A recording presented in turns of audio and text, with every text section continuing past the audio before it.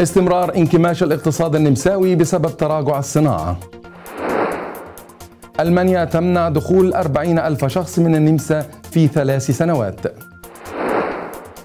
تزايد أعداد الوفيات بسبب استهلاك المواد المخدرة. والسجن المؤبد لبولندي طعن سائق شاحنة 12 مرة. شرطة المساعدة تحقق مع بوسنية حصل على 300 ألف يورو. وأخيرا حفل الأوبرا في فيينا يستقطب آلاف الحضور بتذكرة باهظة.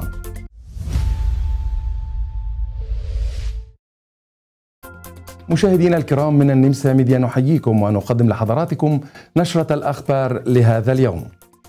كشف تقرير من معهد الدراسات الاقتصادية والاجتماعية فيفو عن تدهور الاقتصاد النمساوي بسبب الركود الصناعي حيث ارتفع معدل النمو بنسبة ضئيلة تقدر ب 0.2% في الربع الأخير من عام 2023 وأشار المعهد إلى انكماش بنسبة 0.7% من الناتج المحلي الإجمالي للعام نفسه وتتأثر الصناعة المحلية بتبعات الركود العالمي مع زيادة تكاليف الفنادق والمطاعم. بينما شهد القطاع السياحي نموا قويا وبالتالي ارتفع معدل البطالة مما أدى إلى انخفاض الطلب على القوة العاملة وتراجع عدد الوظائف الشاغرة. كشف سؤال برلماني لوزير الداخلية النمساوي جيهارد كارنر عن أن ألمانيا رفضت أو أعادت 39700 شخص في من حدودها. وكشفت الإحصاءات عن الأرقام في الفترة من بداية عام 2020 حتى الثامن عشر من ديسمبر لعام 2023 وكانت وثائق السفر غير الصالحة السبب الرئيس وراء الرفض بأكثر من سبعة آلاف حالة. تلتها حالات عدم وجود تأشيرة صالحة بواقع 2200 حالة. بينما تضمنت الأسباب الأخرى عدم تقديم دليل على الغرض من الإقامة أو تجاوز حد الإقامة أو حظر الدخول الوطني أو التهديد للأمن العام. أعلنت السلطات الصحية في النمسا تضاعف عدد الوفيات جراء المخدرات بسبب ازدياد استهلاك الكوكايين في البلاد. وكشف التقرير عن ازدياد تعاطي المخدرات والنيكوتين حيث ارتفعت النسبة إلى الضعف في العام 2020 وتزايد تعاطي المخدرات الأخرى.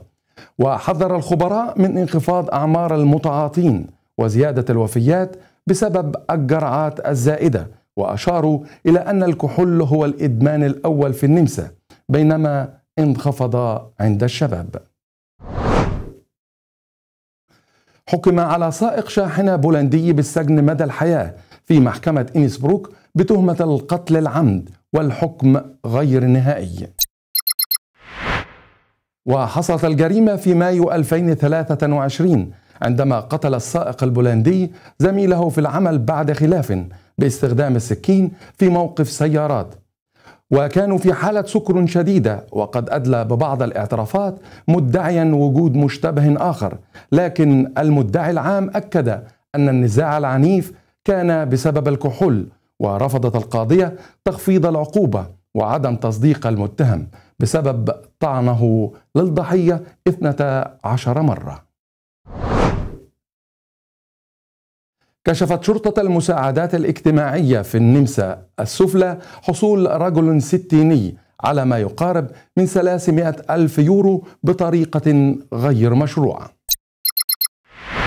وأشارت بيانات الشرطة إلى عدم كشف المتهم عن إقامة ثانوية له خارج البلاد مما جعله مؤهلا للحصول على الدعم غير المشروع من مكتب المساعدات الاجتماعية والعمل حيث كشفت التحقيقات عن ملكيته لعقار في البوسنة منذ عام 2006 مع تلقي الدعم غير المشروع منذ عام 2004 وقد تم تقديم بلاغ ضده لدى المدعي العام.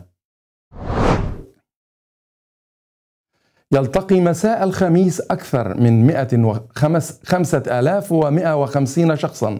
في حفل أوبرا فيينا الشهير بتكلفة تذكرة تبدأ من 385 يورو.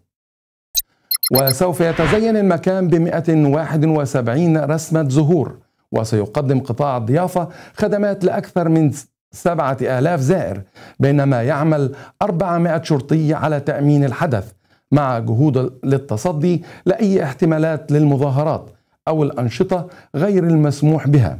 وفي الوقت ذاته ستكون الأجواء الفنية والسياسية مشحونة مع توقع مسيرة من الشبيبة الشيوعية النمساوية حيث سيتم إغلاق طريق الرينج في المنطقة في المنطقة بأكملها.